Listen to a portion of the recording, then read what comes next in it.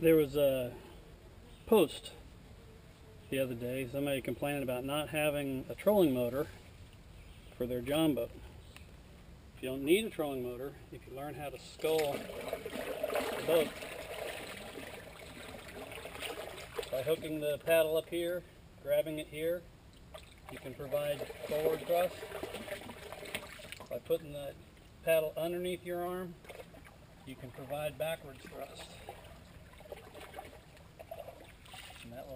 To control the boat in any position and make it go any direction.